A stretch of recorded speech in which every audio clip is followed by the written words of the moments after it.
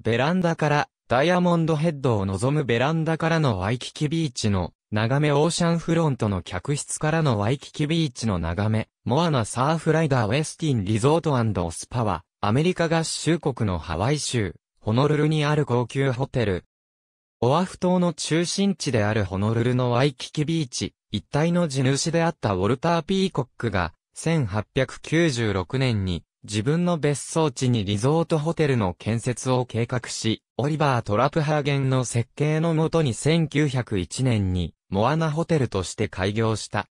モアナホテルはワイキキ地域で初の大型ホテルとなった。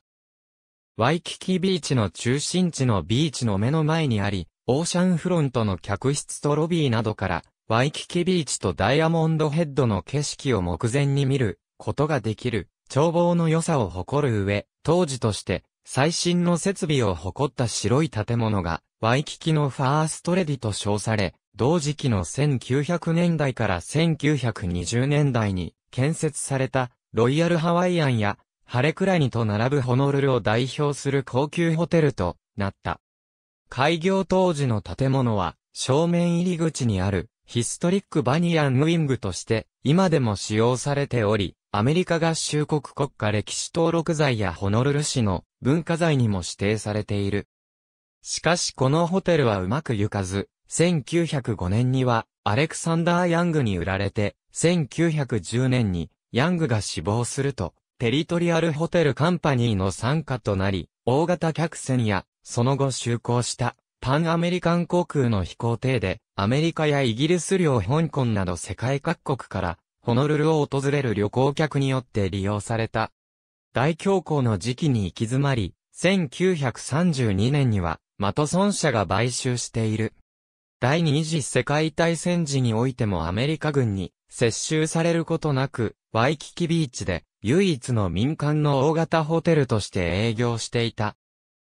1935年から1975年にかけて、モアナホテルから有名なラジオ番組、ハワイコールズで波の音とともにハワイ音楽が米軍放送網に乗って放送されて、このホテルとその付近は米軍兵士の憧れの休養地であり、日本でも戦後 FEN ラジオで放送されて、日本のハワイ音楽の普及に役立っている。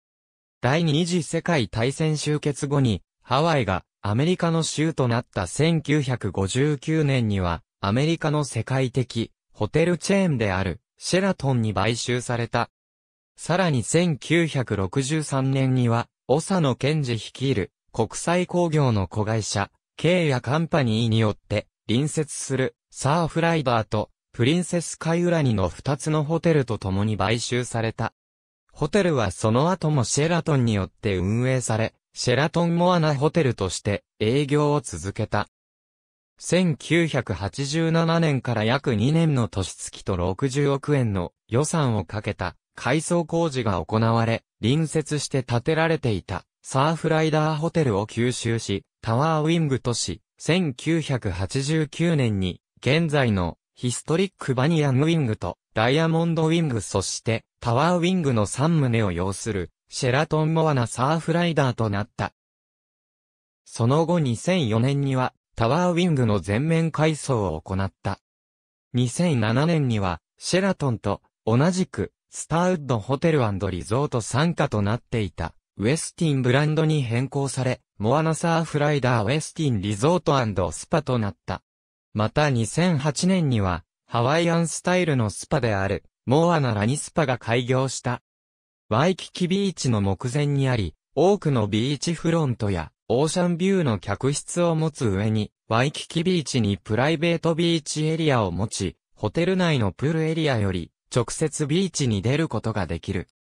また、カラカウア大通りのほぼ中央に位置し、周辺に多くのレストランやバー、ブティックがあるため、食事や買い物における利便性が高い。その一方で、建物内は静粛が保たれている。さらに、コンシェルジュやポーターなどのスタッフのサービスも高く評価されており、コンデナスとトラベラー誌などの権威ある雑誌による調査では、しばしば、ホノルルのトップクラスのホテルに選ばれている。なお、宿泊客は、同系列ホテルである、ロイヤルハワイアンや、シェラトンワイキキ、シェラトンプリンセス、カイウラニの施設を、ルームチャージ扱いで利用することができる。ありがとうございます。